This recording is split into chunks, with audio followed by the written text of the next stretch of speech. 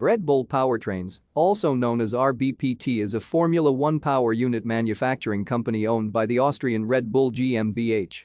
The company was formed in 2021 to take over the operation of Formula One power units developed by Honda from 2022 onwards, following the Japanese manufacturer's withdrawal from the sport after 2021. In 2022, Honda will assemble the power units and provide trackside and race operation support before Red Bull Powertrains takes full responsibility for their operation from 2023. The power units remain Honda's intellectual property, and due to a development freeze, Red Bull Powertrains will not develop them.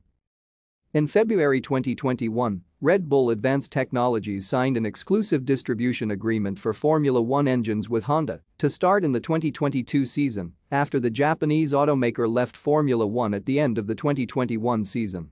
The engines will be purchased and renamed by Red Bull Powertrains and supplied to its two teams currently competing in Formula One, Red Bull Racing and Scuderia AlphaTauri, starting in 2022. On 23 April 2021, the hiring of Ben Hodgkinson as technical director of Red Bull Powertrains was announced. Hodgkinson was the head of mechanical engineering at Mercedes-AMG High Performance Powertrains since 2017 and worked at the Brixworth factory for 20 years. Thank you for watching. Like and subscribe if you would like to view more of our videos. Have a nice day.